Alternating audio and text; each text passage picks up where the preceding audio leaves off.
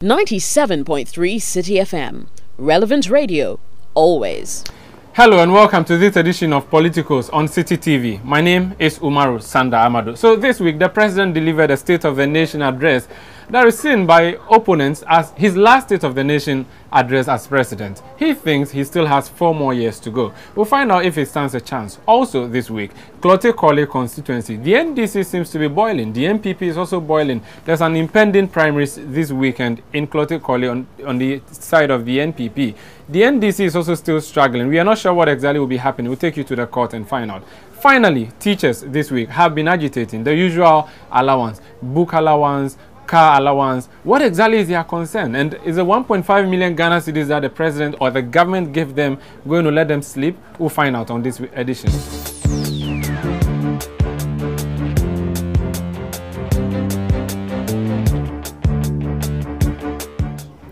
So on Thursday, President Mahama, for close to four hours, delivered what he terms a State of the Nation address to Parliament. It was an evidence-based State of the Nation address that he addressed, trying to justify everything that he said he has done over the past four years. Some argue that the four hours that he spent represent an hour each for the four years that he has spent. But does he even stand a chance of being re-elected in 2016 based on what he told us in Parliament on Thursday? Is a minority happy with what he has said or they are just, as usual, being opponents and so they are opposing everything he says? Sixtus Dong Ullo of Citi News has been monitoring the address and joins me now. So, Sixtus, four hours. Was that too boring and lengthy for the people who were viewing, you think? Uh, not really, depending on which side of the coin you are on. Uh, but for the first time in so many years, you know, following the State of the Nation addresses, you would realize that this particular one captured the attention of so many people, particularly the members of the minority who were in the, in the chamber at the time. Because uh, Mahama did not just present the usual State of the Nation addresses that we, we are used to. He gave us what I will term a novelty, which the minority leader, Kyei-Mensah-Bonsu, is now uh, describing as a breach of the rules uh, of order of, of the House. Because he, he, like you said, evidence-based. He was able to point to human beings, Ghanaians, uh, who benefited from a lot of the things that he, he stated. Okay. So let's talk about the things that he stated. He talked about roads, he talked about infrastructure across the country. Is that satisfying enough to clinch the NDC another victory in 2016? I mean, considering the argument from the opposition side. First of all, it's one thing talking about the things you have done on paper when you meet Parliament, for instance, and it's another thing actually finding the, the, the project that he stated on the ground. And I think that is something that the media would have to do because time and again we have seen official sources or official reports that tell us that one, two, three projects have been executed. You go to the ground and it's a different thing altogether. But if what the president said is anything at all to go by, I think that the minority would have a lot of work to do to be able to, to, to, to win the upcoming elections. If the president, the president's State of the Nation address is anything to go by. Unless um, the minority groups from any of the political parties or the media is able to go between uh, behind the state of the nation address to find out whether we actually have tangible projects on the ground as he said he implemented. So on the thorny issue of energy, we know last year his address was dominated by Dumsor. This time around, what was the delivery on that particular area like? like you said, last year we were in the thick and of, uh, of Dumsor. And so he appeared before Parliament to promise to fix Dumsor. This year, according to the president, we have overcome Dumsor. I'm, I'm just using his own words. We have overcome Dumsor.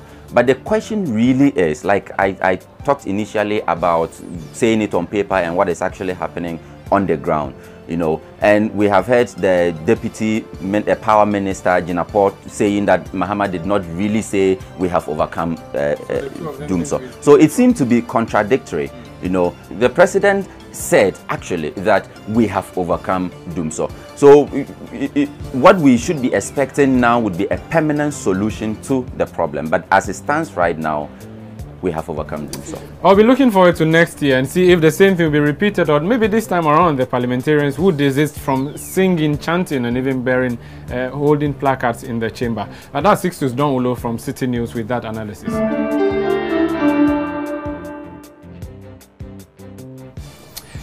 Let's do some more politics and to the Klottey constituency of the Greater Accra region. The NDC and the NPP both seem to have challenges with who their parliamentary candidate is. The NDC has elected Dr. Zanetor Agyeman Rawlings to lead them, but that has since been challenged. The incumbent MP, Nii Armah Ashitey, is challenging that in court and he has already got a first round victory sort of. And the NPP, that case has already been determined in court and they are having their primaries upcoming. What exactly is happening in Klottey Are they changing or they are retaining? What exactly is the case? But Fred Djabanor is uh, from our political desk here at Citi FM. He has been following the development in Klottey Welcome to Politicos. So, Fred, what is the case with Zanetor, first of all? Then we'll go to NPP. Yes, um, Sanda, let me say that um, the Korle Klottey constituency um, is a very interesting one. In the NDC, they are still battling the issue out in court because um, the incumbent MP, Nii Armah Ashitey, is in court challenging the legitimacy of uh, the elected nominee for the party, Dr. Zanetor, from um, from contesting that particular election. And this by Nii Armah Ashitey and the other contender. Exactly. But he has since pulled out, right? The second contender. No, they, they, they are still, they are still, they are both uh, in the case. They all filed the case together, and um, the issue is that they, according to them, the legitimacy of um, Dr. Zanetor as a voter register, uh, I mean, as a registered member of a, uh, uh, of a party is questionable.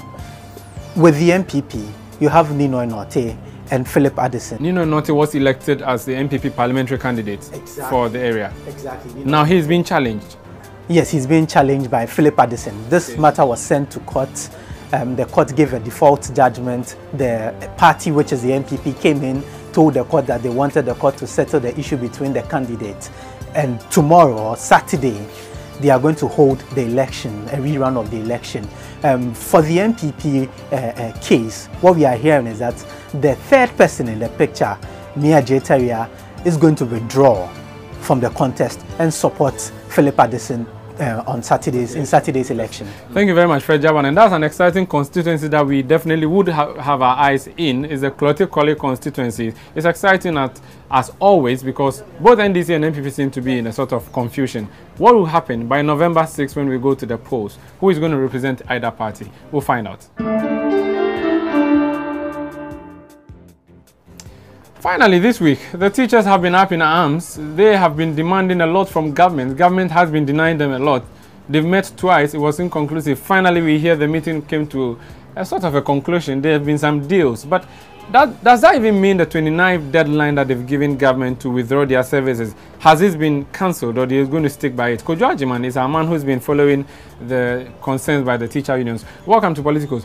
What is the concern of the teachers? The teachers are demanding from government their salary arrears, car maintenance allowances, and incremental jump, which is also in arrears for three years. So government was able to strike a deal with them to pay 1.5 million Ghana cedis of the 16 million Ghana cedis the teachers are demanding from government.